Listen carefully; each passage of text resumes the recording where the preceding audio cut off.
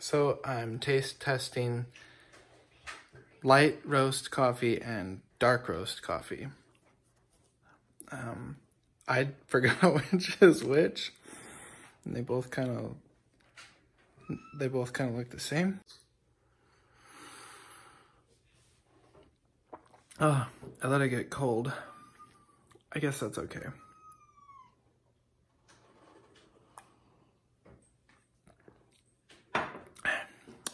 That was the one that I think is light, and I still think it's light.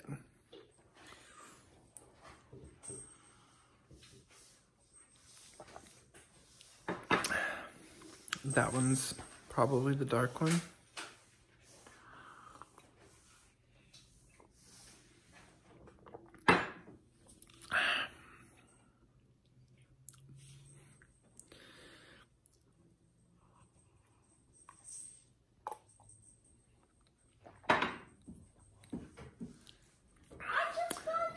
Light? Yeah. This one's the light coffee.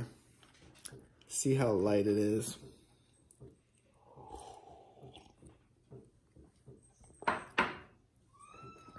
And this one's the dark one. It's so dark.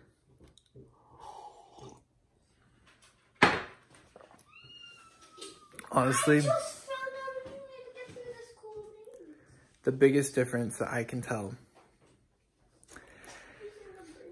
is that I made one of them after the other one. I made the dark one after the light one. And I can tell that the dark one is a little bit warmer because it was made more recently.